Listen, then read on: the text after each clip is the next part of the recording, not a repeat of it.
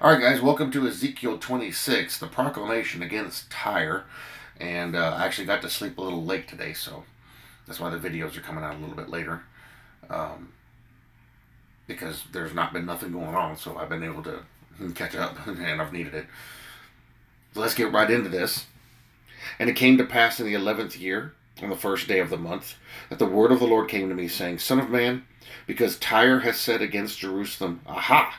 She is broken who was the gateway of the peoples. Now she is turned over to me. I shall be filled. She is laid waste. Therefore, thus says the Lord God, Behold, I am against you, O Tyre, and will cause many nations to come up against you, as the sea causes its waves to come up. And they shall destroy the walls of Tyre and break down her towers. I will also scrape her dust from her, and make her like the top of a rock. It shall be a place for spreading nets in the midst of the sea, for I have spoken says the Lord God. It shall become plunder for the nations. Funny enough, Tyre, if you'll look up where Tyre used to be,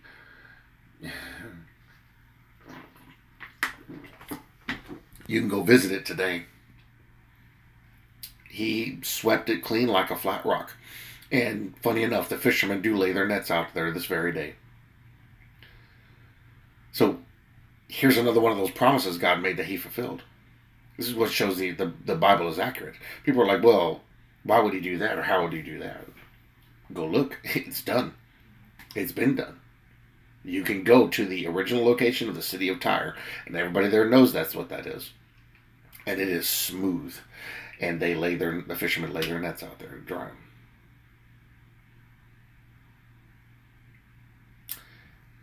God keeps his word. Verse 6 also her daughter, villages, which are in the fields, shall be slain by the sword. Then they shall know that I am the Lord. For thus says the Lord God, Behold, I will bring against Tyre from the north Nebuchadnezzar, king of Babylon. So here he's time-stamping this destruction. King of kings, with horses, with chariots, with horsemen, with an army with many people. He will slay with the sword your daughter villages in the fields. He will reap up a siege ground against you build a wall against you and raise a defense against you. He will direct his battering rams against your walls, and with his axes he will break down your towers. Because of the abundance of the horses, their dust will cover you. Your walls will shake at the noise of the horsemen, the wagons, and the chariots. When he enters your gates, as men enter a city that has been breached. With the hooves of his horses, he will trample your streets. He will slay your people by the sword, and your strong pillars will fall to the ground. They will plunder your riches and pillage your merchandise. They will break down your walls and destroy your pleasant houses. They will lay your stones, your timber, and your soil in the midst of the water. And that's funny too, because when you go there and stand on the shore and look off just out in the water, you can see the chunks of stone out there where they were thrown off from the shoreline. I will put an end to the sound of your songs, and the sound of your harp shall be heard no more. I will make you like the top of a rock. You shall be a place for spreading nets, and you shall never be rebuilt. For I, the Lord, have spoken, says the Lord God. And every single time somebody's talked about doing it, they've never done it. They've talked about rebuilding that city multiple times. They've never done it. The Lord kept his promise. They never will. So there's a real life example of God fulfilling his word. Verse 15, Thus says the Lord God to Tyre, Will the coastlands not shake at the sound of your fall? With the Woot because they were that was a big town, big uh, shipping town. When the wounded cry, when slaughter is made in the midst of you, then all the princes of the sea will come down from their thrones. Lay aside their robes and take off their embroidered garments. They will clothe themselves with trembling. They will sit on the ground, tremble every moment, and be astonished at you. And they will take up a lamentation for you, and say to you, How you have perished, O one inhabited by seafaring men.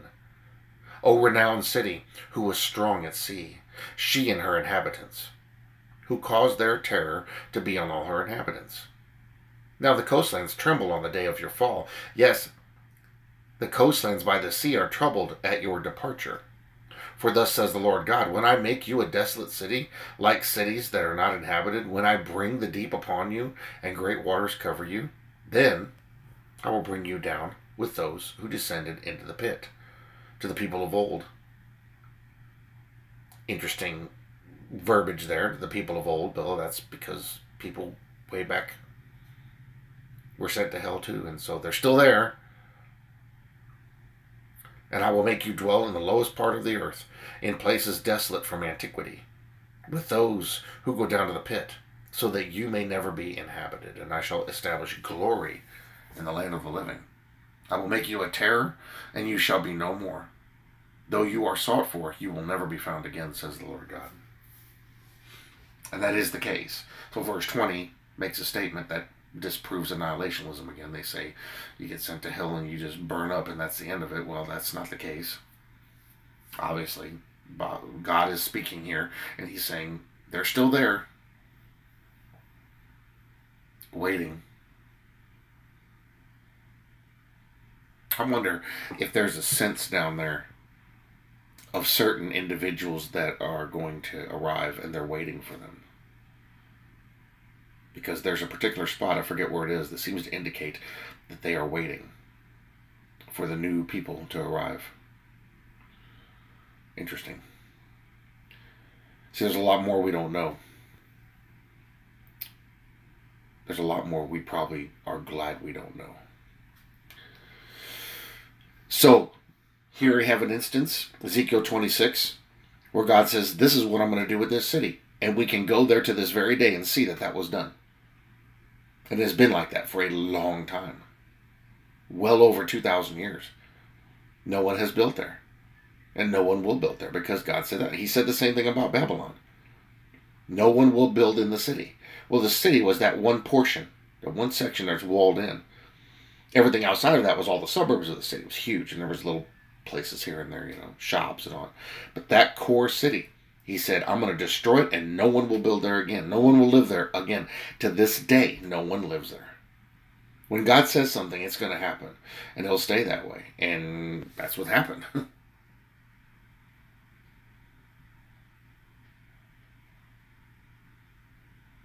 that is what has happened.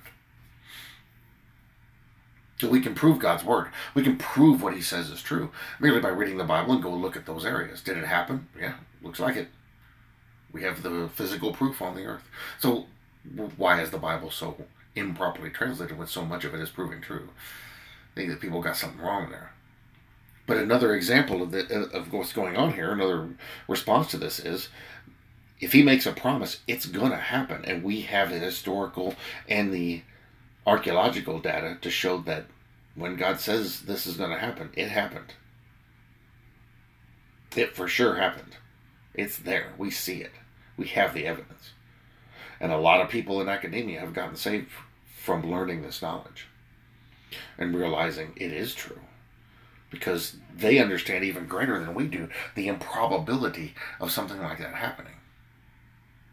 And when they put all the puzzle pieces together, they realize, yep, this is it, and they get saved. Very interesting. Very powerful to show for God to show His power on the earth. See, not everybody will see see that. Not everybody will see it. They'll say, "Well, that just that happened to a lot of cities back then." Yeah, but it wasn't just Tyre. It was all the villages around Tyre too. And if you go over there, there's some pretty nice land over there. Nobody's there to this day. Well, yeah, but that, that happened. I mean, that kind of stuff. Maybe it was disease or whatever. Hmm. What about Jericho? Oh, we never found Jericho. Yeah, we did find Jericho. He said that place would become uninhabited, and it has. And the walls have seismic damage that had to be repaired, which is exactly what the Bible describes. And it just keeps going and going and going. And the more they find, the more they find, the more they realize, hmm. See, there's a certain group within academia that knows exactly that this is all true. There was a records room that was created under the Sphinx. They found it and cleaned it out. Took all the evidence showing all this information and hid it. There were hidden chambers in the Great Pyramids, and they found them. And that stuff was taken away and hidden.